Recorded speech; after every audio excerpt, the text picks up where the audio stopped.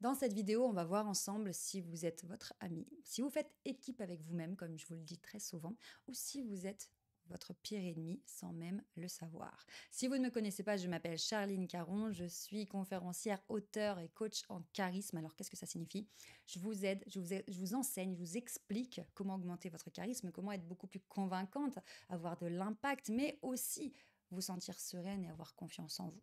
Parce que pour moi, ça sert à rien d'apprendre des techniques de communication, euh, d'avoir du charisme, d'être convaincante si à l'intérieur vous vous sentez mal, vous stressez, etc.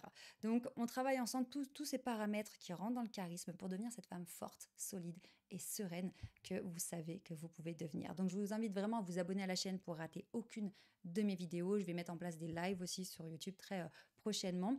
Et puis, vous avez aussi accès à mon immersion 5C. C'est une immersion en ligne qui dure 7 jours pour seulement 7 euros, donc 1 euro par jour pour commencer pour de vrai votre transformation. Les résultats sont stupéfiants. Donc cliquez sur le lien dans la description pour vous inscrire à cette immersion et c'est parti. Alors, premier point aujourd'hui très important pour savoir si vous êtes de votre côté ou si vous êtes finalement en train de vous saboter vous-même, vous mettre des bâtons dans les roues, vous empêcher d'avancer dans votre vie. C'est très important de comprendre que vous êtes dirigé par vos pensées, d'accord? Vous n'êtes pas dirigé par les autres. Même si les autres sont méchants, sont dominants, sont agressifs, sont manipulateurs et tout ce qu'on veut, c'est vraiment vos pensées à vous qui décide de vos comportements, de vos habitudes, de vos réactions et des choix que vous allez faire dans votre vie. Et ça, c'est extrêmement important parce qu'en développement personnel, on vous dit tout le temps, euh, vous devez vous responsabiliser, arrêter de trouver des excuses. Euh, si vous en êtes là, c'est de votre faute. Et peut-être même que vous avez eu au téléphone des personnes qui proposaient des formations où on vous a fait culpabiliser, on vous a dit que vous étiez nul, que c'était une catastrophe et qu'il fallait absolument acheter la formation parce que, etc. Ça, euh, c'est de la manipulation, d'accord? Et le problème, c'est que des personnes qui tombent dans cette manipulation. Alors là, je vous prends l'exemple d'un coup de fil pour une formation, mais ça peut être n'importe quoi. Hein. Un collègue, une amie, la famille, euh, votre mère, votre père, votre sœur. Euh, le problème, c'est que quand on, a des croyances, ce qu'on appelle on appelle ça des croyances limitantes parce qu'elles nous limitent. Euh, je ne suis pas assez intelligente, je vaux moins que les autres, qui suis-je pour dire non, qui suis-je pour remettre en question, en question ce que la personne me dit, etc. Bref, en fonction de ce qu'on se raconte dans notre tête, de ce à quoi on pense, ce que l'on croit, eh bien, ça va conditionner notre réalité et donc ça va conditionner ce qu'on vit. Ok? Et ça, c'est super important. Je vais vous donner un, exemple. Hier, j'étais à un networking, donc un événement de réseau, etc. Dans ces événements, euh, bah, tu rencontres plein de personnes et puis, euh, et, puis voilà, tu échanges, tu te présentes. Et donc, ça s'est très, très, très bien passé. Euh, et puis, à un moment donné, il y a une dame qui me demande ce que je fais. Et elle avait une allure un peu, voilà, elle me regarde un peu de, haut, mais moi je reste toujours neutre. Je, dis, je, sais qu'il y a des gens extrêmement bienveillants, je sais qu'il y en a d'autres qui le sont moins, mais j'attends de voir, j'attends de voir les signaux. Vous savez qu'à la Ster Academy, je vous apprends à décoder les gens en fonction de leur langage corporel, de, du regard qu'ils ont, comment ils vous regardent, l'intonation de la voix, etc., comment ils se comportent. Et bon, je la sentais pas trop hein, au départ. Mais voilà, je reste cool. Et puis, euh, donc, je lui explique que bah, je fais des conférences, que j'ai sorti un livre. Euh, bref, en trois mots, je, lui dis bah, je suis coach euh, en charisme. Parce que ça résume bien. Normalement, les personnes me disent Ah bon, en charisme? Et puis je leur explique brièvement que c'est de la prise de parole, de la confiance en soi, du mindset, de la communication interpersonnelle, etc. Et là, j'ai dit, dit coach en charisme? Elle me dit En quoi? Je dis En charisme. Et là, elle me répond Oui, en communication, quoi. C'est là que tout se joue. Si j'avais eu un système de pensée euh, négatif envers moi-même, si je m'étais auto-jugée négativement, si j'avais une estime de moi basse, si j'avais peur de ne pas être à la hauteur, si j'avais même aussi le, le syndrome de l'imposteur, qu'est-ce que je me serais raconté au moment où cette personne me snob en me disant Oui, la communication, quoi à ce moment-là, j'aurais été blessée par cette personne, mais surtout, je me serais dit, mais elle a peut-être raison, en fait, c'est naze ce que je fais. En fait, c'est ridicule. En fait, ça veut rien dire. En fait, je me la raconte pour rien. Et j'aurais commencé à me torpiller moi-même, juste parce que cette personne était arrogante, pas du tout dans la bienveillance, ni dans la curiosité de découvrir ce que je faisais et qu'elle était, bon, je sais pas, dans son délire, bref. Et donc, ce comportement le comportement de cette personne aurait pu me m'anéantir. Et ça aurait été le cas il y a quelques années, quand je démarrais, que j'avais très peu d'estime pour moi-même, très peu confiance en moi, je doutais énormément, j'avais besoin d'être validée par les autres, euh, et je me rejetais moi-même. Donc j'étais ma pire ennemie. Et j'avais besoin que d'autres personnes m'apprécient, soit les amis avec ma version de moi-même, que je n'aimais pas, pour voir si éventuellement je pouvais m'accepter. C'était complètement à l'envers. J'attendais que les autres même pour éventuellement peut-être commencer à m'apprécier parce qu'ils avaient l'air de trouver que c'était bien. Catastrophe. Eh bien, que s'est-il passé? Là, aujourd'hui, j'ai 36 ans. ça fait 10 ans que je, fais je suis dans euh, le secteur du développement personnel, etc. J'ai énormément travaillé sur moi. Ben, je me suis dit, mais, mais c'est un sketch. Mais qui est cette personne? Pour juger mon activité, ce que je fais, euh, euh, et, de balayer du revers de la main ce que, je lui explique Je me suis dit, mais je me suis dit, mais elle, est, elle, est, elle est arrogante, elle est irrespectueuse, parce que c'est n'est pas du tout mes valeurs de, de, parler avec les personnes de cette façon. Donc je me suis dit tout de suite, ok, toi et moi, on n'est pas sur la même longueur d'onde. Donc toi et moi, on n'ira pas plus loin. À partir de là, et c'est aussi pour ça que dans les outils que j'ai développés dans ma méthode STER, ça change tout. En fait, c'est la façon de voir les personnes euh, qui va aussi conditionner comment vous vous sentez. À partir de ce moment-là, j'ai compris qu'on n'avait pas les mêmes valeurs, pas la même façon de traiter les êtres humains me suis dit, ok, on n'est pas sur la même valeur, Poum, je te mets à l'extérieur de moi-même. Tu n'as plus accès à moi-même. Parce que je vois ton comportement, ça m'intéresse pas. Et à aucun moment j'ai remis en cause mon travail, mon expertise. Parce que c'est pas parce que elle pense que c'est nul, que c'est pas intéressant, que, euh, que c'est le cas. Je ne lui donne pas raison. Je ne lui donne pas tout pouvoir. Euh, comment vous pouvez euh, laisser euh, du pouvoir à des personnes que vous ne connaissez pas, même d'ailleurs à celles que vous connaissez, hein, mais c'est encore d'autres sujets, les relations toxiques, etc. Comment vous pouvez laisser autant de place et de pouvoir sur vous et votre vie et vos valeurs les plus profondes à des personnes que vous connaissez même pas, que vous reverrez jamais? Avec qui vous n'avez absolument rien à voir vous voyez ce que je veux dire? Je voulais vraiment vous partager ce moment parce que euh, ça peut paraître anecdotique pour des personnes qui ont, confiance en elles. Euh, voilà, elles auront, elles même pas relevé ce comportement. Mais si vous regardez ma chaîne, c'est que certainement vous avez une sensibilité, peut-être même vous êtes hypersensible, euh, et ce genre de choses vous le relevez.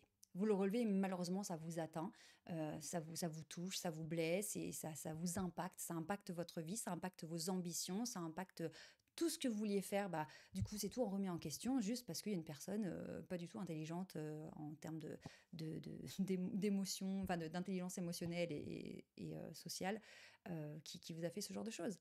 Donc vraiment, comprenez que, ce que comment vous interprétez ce que vous vivez, ça dépend de ce que vous racontez dans votre tête et ça dépend donc de euh, la qualité, la quantité, le développement de l'estime que vous avez pour vous-même, ce que vous pensez valoir. Si vous, êtes, vous pensez être une belle personne avec des super choses à, à, partager, ou si vous pensez que vous êtes nul, que vous êtes bien en dessous des autres, que vous n'êtes pas intéressante et que vous êtes qu'une imposture. D'accord? Donc ça, c'est vraiment, vraiment important de comprendre que ça ne dépend pas des autres D'accord Parce que vous ne pourrez pas euh, croiser que euh, des personnes euh, bienveillantes, gentilles, généreuses, qui s'intéressent à vous, qui trouvent que, ce que vous faites, c'est génial. Non, ça n'existe pas. Vous allez croiser tout type de personnes. Et c'est pour ça d'ailleurs que c'est super intéressant d'aller rencontrer des gens, de se sociabiliser, parce que vous découvrez qu'il y a des gens extrêmement intéressants, bienveillants, super. Moi, hier, j'ai fait des rencontres magnifiques, vraiment. Et à côté de ça, oui, bah, il y aura des gens qui vont vous snober, il y aura des gens qui vont qui vont pas voir tout ce que vous avez à offrir et tant pis pour eux, d'accord? Mais alors attention quand même, un bémol. Parce que là, je viens de dire oui, il y a des personnes qui verront pas euh, tout ce que vous avez à offrir et tant pis pour eux. Mais attention, à partir du moment où vous êtes aligné entre qui vous êtes à l'intérieur et ce que vous montrez aux autres. Parce que si vous êtes complètement en décalage euh, par rapport à l'image que vous envoyez, euh, personne ne verra ce que vous avez à offrir. D'accord? Ce sera plus 9 personnes sur 10 euh, trouvent que vous êtes une personne intéressante parce que euh, voilà, elle, voit à travers vos signaux, que ce soit dans votre comportement, dans votre façon de vous habiller, votre façon de, de, marcher, votre attitude, etc., votre façon de réagir. 9 personnes sur 10 comprendront qui vous êtes, et puis il y a une personne sur 10, voilà, ça ne matche pas. puis on est bien contente finalement qu'elle que, ne s'intéresse pas plus parce qu'on n'a rien en commun. Là, vraiment, c'est important de comprendre que si vous n'envoyez pas les bons signaux, vous n'attirerez pas les bonnes personnes et, euh, personne saura qui vous êtes. D'accord? Donc, je referme la parenthèse, mais c'est vraiment important. Euh, si tout ce que je vous dis vous chamboule, là, euh, je vous conseille de prendre un rendez-vous avec un membre de mon équipe, d'accord? Euh, On vous offre un bilan personnalisé, c'est au téléphone, c'est gratuit, ça vous permet de euh, faire le point sur votre situation, avoir beaucoup plus de clarté. Mais attention, c'est seulement pour celles qui sont prêtes à passer à l'étape supérieure, d'accord? Si, euh, et on va en parler dans le point numéro 2, euh, si euh, euh, vous avez peur qu'on vous juge, vous avez peur qu'on vous, qu'on vous dise de venir à l'académie, nanana, vous êtes sur la défensive, c'est pas la peine de prendre le rendez-vous. Je vous le dis direct parce que on a beaucoup beaucoup de demandes et on, on adore vous aider, on veut vous aider, d'accord? Mais je peux plus accepter qu'il y ait des personnes qui prennent des rendez-vous avec mes collaborateurs. Mes collaborateurs, ils sont investis à 1000%, ils vous écoutent, ils ne vous jugeront en aucun cas. Ils, prennent en considération ce que vous vivez, ce que vous avez vécu. Ils sont vraiment investis dans, les appels. C'est vraiment ce que je leur demande. Ils sont formés à ma méthode STER. Euh, et puis, à, voilà, la philosophie, nous, quand on travaille, c'est dans la bienveillance, le respect. Euh, J'ai écrit un livre qui s'appelle Vous êtes trop gentil. Donc, étant trop gentil, je ne travaille pas avec des gens méchants. Mais voilà, je ne peux plus tolérer qu'il y ait des personnes qui, qui, viennent en rendez-vous téléphonique et, et euh, qui, qui, qui pensent qu'on est là pour les arnaquer ou pour euh, leur mettre une pression. Non, non, non. Si vous voulez qu'on vous aide, vous prenez rendez-vous et, et vous allez avoir des résultats extraordinaires. Ça va vous booster, ça va vous aider. Mais il faut que ça vienne de vous, d'accord? Vraiment. Parce que, bref, on en reparlera. Mais, mais, donc, si vous voulez prendre ce bilan, faites-le parce que euh, si vous sentez que c'est le moment pour vous de passer à l'étape supérieure, que vous voulez être beaucoup mieux considéré, qu'il y en a marre à un moment donné que vous prennent pour plus petit euh, que ce que vous n'êtes, euh, bah venez. Et vous allez voir qu'on va vous donner beaucoup de soutien, de force. Et vous allez repartir de ce rendez-vous, mais rebooster. Après, si vous voulez intégrer mon académie en ligne, euh, c'est euh, autre histoire. Vous pouvez avoir des informations, on vous explique comment ça se passe. Euh, mais euh, voilà, si vous sentez que c'est maintenant que vous avez besoin de soutien, vous avez besoin d'un élan, on est là. Cliquez sur le lien dans la description pour prendre votre rendez-vous. Alors le point numéro 2, justement, il est en lien avec cette petite remarque que je fais, parce que on a tendance, quand on a une faible estime de soi-même, qu'on est notre pire ennemi, hein, je vous rappelle le, thème de cette vidéo, euh, on a tendance à, à- bon, on se rejette soi-même et puis du coup on se dit aussi que les autres sont méchants, euh, puis on comprend pas, on dit mais c'est injuste. Et moi j'étais vraiment dans ce truc d'injustice, j'étais euh, très malade, très handicapée physiquement, j'avais mes problèmes de cervical, de, sacrum, de coccyx, euh, tout mon, toute ma colonne vertébrale était en vrac, j'avais des vertiges, des névralgies, une fatigue chronique, des problèmes de digestion, enfin j'étais mais complètement en vrac. Et il y avait vraiment cette, ce sentiment d'injustice d'être malade, de ne, pas, de ne pas être en forme comme les autres, de pouvoir euh, avoir une vie normale, quoi, simple. Euh, je voulais même pas, je voulais même pas atteindre des sommets à cette époque, je voulais juste vivre normalement. Et, euh, et donc, ce gros, gros sentiment d'injustice, et tout ça faisait que j'avais tellement peu d'estime pour moi-même que toute ma communication montrait que j'avais pas confiance en moi, que je pensais que j'étais nulle, et donc j'étais pas du tout convaincante, j'étais pas du tout crédible, parce que comme intérieurement je me sentais mal, et bien dans ma communication j'étais très soumise, ça se voyait, d'accord, dans le langage corporel, dans le paraverbal, tout ce qui est intonation de voix, façon de parler, euh, dans le- le- les réactions, etc. Et j'avais tendance à penser que bah, les gens étaient méchants, que euh, ils me donnaient pas ma chance, qu'ils croyaient pas en moi, que du coup c'était euh, injuste parce que on donnait toujours la chance à celles qui avaient l'air confiantes, etc. ou qui qui, qui s'apprêtaient, qui étaient euh, qui étaient à la mode ou qui étaient là à être populaires et que moi finalement ben euh, tout le monde s'en foutait. Et c'est vraiment important de comprendre que ça, encore une fois, ça ne peut venir que de vous. Quand je vous dis, si vous voulez prendre le bilan, ça, ça doit venir de vous. Nous, euh, ben, vous n'avez pas envie, ben, vous venez pas en fait, parce qu'on on ne va pas vous forcer. Ben, là, c'est pareil. Si vous sentez que vous n'êtes pas considéré à votre juste valeur, c'est que vous devez changer quelque chose.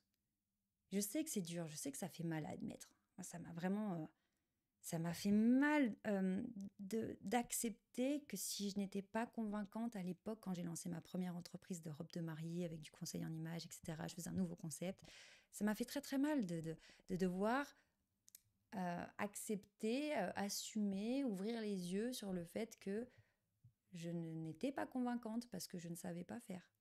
Il y avait forcément quelque chose que je faisais de travers pour que malgré mon intelligence, ma détermination, mon enthousiasme, ma conscience du travail, on ne me fasse pas confiance. Donc je sais que c'est difficile, mais à un moment donné, vous devez arrêter euh, de vous rejeter vous-même et de rejeter la faute sur les autres, de dire qu'on veut vous faire ceci euh, ou qu'on ne veut pas vous faire cela. Non, c'est à vous d'y aller. C'est à vous d'y aller. Je reprends mon exemple d'hier quand j'étais en networking. Il y a des moments, euh, soit ben, quand on n'a pas l'habitude d'aller vers les autres se présenter, ben, on est terrassé par notre timidité, soit on a la flemme parce que ça demande de l'énergie d'aller vers l'autre, euh, euh, de sentir toute cette intelligence sociale, de voir quand l'autre est disposé, est-ce qu'on y va, etc., quand prendre la parole avec la personne et tout. Et hier, il y a eu ces moments où je dis, bon, ça serait bien que j'aille voir cette personne, que j'aille lui parler, que j'aille me présenter.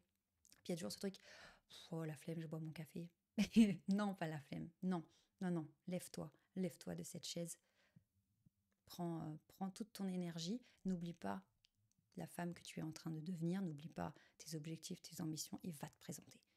N'attends pas que la personne vienne te découvrir comme par enchantement parce qu'elle avait que ça à faire et tu, elle est tombée sur toi et puis justement elle s'est dit tiens j'aimerais bien découvrir cette personne, elle a l'air intéressante. Non non, ça se passe pas comme ça. Je sais, hein, je sais qu'on aimerait tous qu'on soit là et que les choses nous tombent dessus, mais c'est pas le cas. Il va falloir vous battre, ok? Et pour vous battre, vous devez faire équipe avec vous-même. Vous devez arrêter d'être votre propre ennemi. Et c'est pareil quand euh, on décide euh, de faire des choix euh, qui sont forts dans nos vies. Que ce soit prendre la décision de, quitter votre travail, de quitter votre conjoint, de postuler pour un nouveau travail, d'inviter quelqu'un au restaurant. Peu importe en fait, les choix, ils ne viennent que de vous. Donc quand on vous dit que vous devez prendre vos responsabilités, c'est ça en fait, mais pas pour vous faire culpabiliser, mais au contraire pour vous dire que vous avez le pouvoir, d'accord? Si vous voulez faire une formation pour améliorer vos compétences, etc., bien sûr que ça va vous coûter. Ça va vous coûter de l'argent, ça va vous coûter du temps, ça va vous coûter de l'énergie. Bien sûr, rien n'est gratuit, mais est-ce que vous pensez pas le mériter? À un moment donné, c'est c'est vous qui avez le pouvoir, tout est entre vos mains. Et tant que vous laissez le pouvoir aux autres en disant oui, mais vous aussi, euh, ah, euh, vous m'avez pas vraiment expliqué, ou vous aussi, c'est de votre faute parce que euh, j'aurais voulu que, euh, c'est pas le cas, donc c'est de votre faute. Non, non, non, c'est la faute de personne en fait. Et même si c'est difficile, même si ce que vous avez vécu est difficile, même si votre situation est difficile, c'est comme ça. Et je sais qu'on aimerait que ça se soit passé autrement, on aimerait que ce soit plus simple, mais c'est comme ça. Donc soit vous acceptez que cette situation doit changer et vous passez à l'action, vous êtes courageuse et je sais que vous êtes courageuse. Si vous êtes encore en train de regarder cette vidéo, c'est que vous êtes courageuse. Euh, soit vous vous dites, ben c'est nul, c'est la faute des autres, c'est la faute, pas de chance, et c'est je peux rien faire. Vous laissez le pouvoir à l'extérieur de vous. Et là, il se passera rien, ou alors ce sera même, non, être, on va être honnête, ça va être de pire en pire. Ça va être de pire en pire parce qu'il y a une partie de vous qui vous dira constamment, et ça durera toute votre vie, tu aurais pu faire quelque chose tu aurais pu tenter d'améliorer ta situation. Mais tu l'as pas fait parce que tu avais trop peur. Et donc cette petite voix, elle va vous hanter. Et je, parle toujours, ça fait des années depuis que je suis entrepreneuse, et à chaque fois, j'ai toujours cette envie d'apprendre des autres. je leur pose des questions. Alors avant, c'était très naïf, mais peut-être que maintenant aussi d'ailleurs.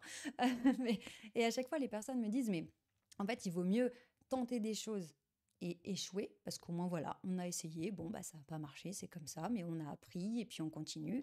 Euh, ça fait partie du parcours, ça fait partie de l'évolution. Plutôt que hésiter, se dire qu'on pourrait, on pourrait peut-être faire cette formation, on pourrait prendre cet accompagnement, on pourrait euh, déménager dans cette région qui, nous donne envie depuis des années, on pourrait se donner les moyens, mais on a trop peur, donc on se trouve des excuses, on se dit bah non, c'est trop compliqué, bah non, euh, non, et, mmh, et on le fait pas et après on regrette parce que pourquoi le regret il est là? Parce que on se dit OK, peut-être que ça n'aurait pas fonctionné. Mais peut-être que ça aurait fonctionné. Et cette, cette éventualité de réussite, elle est horrible. Parce qu'il y aura toujours une partie de vous qui, qui vous dira et si tu avais essayé? Et si tu avais investi du temps là-dedans, si tu avais investi de l'énergie, si tu avais changé les choses? Si tu avais osé passer ce cap? Comment serait ta vie aujourd'hui? Et cette question de et si j'avais essayé, elle est terrible, c'est une torture. Donc si aujourd'hui il y a quelque chose qui vous appelle, vous vous dites ouais, je pense que moi et mes problèmes, on devrait y aller, allez-y. allez-y. Et au pire, ça marche pas. Mais si ça marche pas, vous aurez quand même vécu une expérience, vous aurez forcément appris quelque chose et c'est peut-être cette étape-là qui vous fera aller à l'étape suivante qui, elle, fonctionnera et que vous n'auriez jamais pu atteindre si vous n'aviez pas commencé. Les, échecs, en fait, ils font des, ils vous font des marchepieds, des, des, escaliers, mais c'est difficile à admettre parce qu'on n'a pas envie de souffrir. Mais c'est pour ça aussi que j'ai appelé ma méthode STER, qui veut dire escalier en anglais. Mais euh, STER, ça veut aussi et surtout dire système de transformation pour l'autonomie et l'intelligence relationnelle. Mais vraiment, dites-vous que ça suffit de, de, vous rejeter, d'être votre, votre ennemi. C'est terrible. Il est temps que vous fassiez équipe avec vous-même. D'accord? Je sais que c'est dur parce que j'étais dans ce cas-là. Je me rejetais, j'avais de la haine contre moi. C'était même plus de la colère, c'était un stade de haine. Je, j'étais écurée de la, de la personne que j'étais. J'ai réussi à me tolérer. Bah, alors d'abord dans un but, euh, vraiment c'était de la stratégie pure pour réussir à avancer euh, dans mes objectifs. et puis finalement j'ai compris en fait que la clé c'est de, c'est de s'accepter et de s'aimer. Mais évidemment qu'il y a des sacrées étapes. Mais donc on va commencer par arrêter d'être euh, notre pire ennemi. On va commencer à identifier les pensées qui trottent dans notre tête toute la journée. Posez-vous la question, qu'est-ce que vous vous racontez? Qu'est-ce que vous racontez à propos de vous et à propos des autres? Qui a le pouvoir? Est-ce que c'est vous qui avez le pouvoir, même si ça fait peur Ou est-ce que ce sont les autres? Où sont vos excuses? Alors attention, excuse, c'est différent d'être indulgente. Là aussi, il y a beaucoup de raccourcis. Quand on dit de ne plus avoir d'excuses, ça ne veut pas dire mal vous traiter, euh, vous dire que vous êtes nul, que vous devez passer à l'action. Je dois passer à l'action, je suis dans le développement personnel, je dois passer à l'action, je dois sortir de ma zone de confort, je suis nul, sinon non, non, je dois arrêter de me trouver des excuses, je dois passer à l'action. Non, vous devez être indulgente quand il y a besoin. Vous devez vous réconforter quand vous en avez besoin.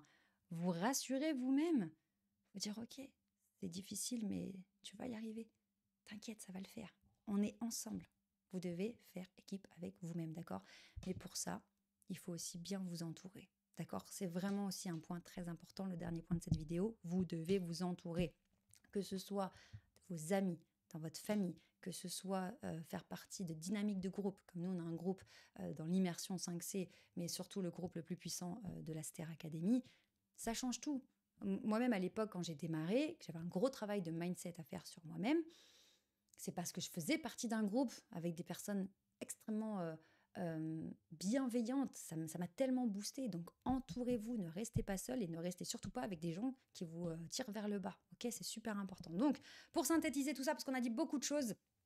La première chose, c'est bien de comprendre que vous êtes dirigé par vos propres pensées. Toutes vos réactions, votre attitude, vos comportements, ce qui fait votre façon de vivre et de réagir à ce qui vous arrive, ça dépend de comment vous vous parlez intérieurement, l'histoire que vous racontez à propos de vous, c'est vraiment, ça conditionne tout le reste. Ça, c'est très important. Si vous, si vous sentez que vous ne maîtrisez pas du tout ce que vous racontez, il y a un gros travail à faire.